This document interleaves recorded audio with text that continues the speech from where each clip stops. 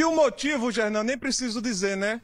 Segundo testemunhas, o suspeito não se conformava com o fim do relacionamento e terminou há quanto tempo? Há apenas duas semanas. Boa tarde para você também, para todo mundo que acompanha o Balanço Geral Pernambuco. Tudo aconteceu neste prédio que fica no bairro de Rio Doce, em Olinda. Foi agora há pouco, Gernan, que o homem com a faca chegou. Detalhe, a mulher se separou dele há cerca de duas semanas e já estava com outro namorado, vivendo tranquilamente, só que ele não se conformava. Então chegou aqui, invadiu o local e foi até o homem, o atual namorado da mulher conseguiu esfaquear esse homem, Gernan. Inclusive, esse atual namorado precisou ser socorrido, foi levado para a unidade de pronto atendimento de Olinda, onde está recebendo agora uma atenção especial porque a, faca, a facada foi justamente na barriga. E depois ele escalou para tentar entrar no apartamento, como mostram essas imagens que foram feitas por um morador. Só que a mulher começou a gritar socorro, pedir socorro e conseguiu em determinado momento tirar a mão dele e ele acabou caindo do segundo andar de uma altura de cerca de 5 metros. Apesar de ter ficado machucado, Gernan, o homem conseguiu fugir. A gente consegue observar que o portão aqui é aberto e antes aquela outra entrada ali também ficava aberta, só que os moradores estão com medo que esse homem retorne para o local.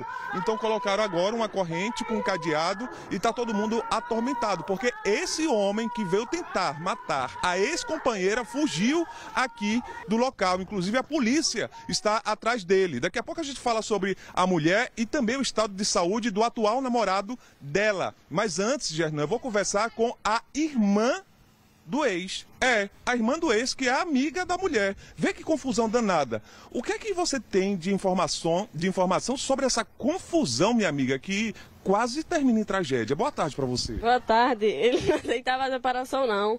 E queria ela de todo jeito, só que ela não quer mais ele, né? Tava com outro. Aí ele foi e tentou matar o ex-marido dela e matar ela. Como foi que tudo aconteceu? Ele invadiu o local, se aproximou do atual namorado. Ele. A porta, o quarto fica aberta aí. Ele pegou e entrou, viu que o homem tava lá com a menina. Aí pegou, foi e entrou lá. Pegou a faca, os dois ficaram se embolando lá e puxou a faca, o menino desceu, esfaqueado, e foi na UPA, foi pra UPA. Quem socorreu o atual namorado? Ele saiu sozinho andando. A polícia militar teve aqui e ajudou a levar ele. Só a menina, porque quando a polícia chegou aqui não tava nem ele nem o outro.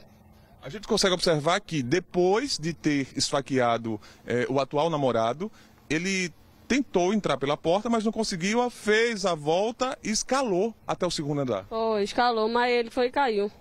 Conseguiu não subir não. Ele queria matar a menina, ameaçando a menina, dizendo que ia matar a menina, não aceitou o fim do relacionamento. É teu irmão, tu acredita que se ele tivesse tido acesso ao apartamento, ele teria capacidade de matar? Teria, ele meteu a faca no menino. Ele não teria mais coragem de matar ele, ele tá doido. Porque ele não aceita o fim do relacionamento. Foi bem recente, né? Terminou, terminou há cerca de duas semanas. E a tua ex-cunhada já estava com outro namorado vivendo tranquilamente. Está, na verdade, né? E ele não se conformava de jeito nenhum. Não, queria ela a todo custo e ela não queria mais ele. Você acredita que o término do relacionamento tenha sido por qual motivo? Porque ela já está com outro namorado. Teria sido esse outro namorado? Não, porque ele usa droga. Ela não aceitou a droga. Hum, queria viver com ele, né? Usando droga. Uhum. E não dava nada a ela. Ela quer uma outra pessoa, né? Pra dar ela. Agora, o vídeo é angustiante, né? Porque a gente percebe que ele está com uma faca na mão. Quando escala, na verdade, eu disse segundo andar, mas é primeiro andar, né? É primeiro ou segundo? Primeiro, é primeiro. É no primeiro andar. E ela se desespera, pede socorro, grita. Os moradores também ficam apavorados com a cena, com medo que teu irmão tivesse acesso ao apartamento. É, ficou todo mundo com medo, assustado, pensando que ele ia matar. Agora eu consigo observar que está tudo fechado com cadeado. O medo de vocês é que ele retorne? É, que ele retorne e queira matar a menina. A minha... Certo que a menina não mora aí não, só que mora aí é minha irmã, né? Mas ele... a menina vem aí de vez em quando para conversar com a minha irmã. Ela não mora aqui. Quem mora é algum parente. É a irmã dele. A irmã dele? É, do que meteu a faca no menino. Tua irmã? É. Minha irmã, irmã dele. Ah.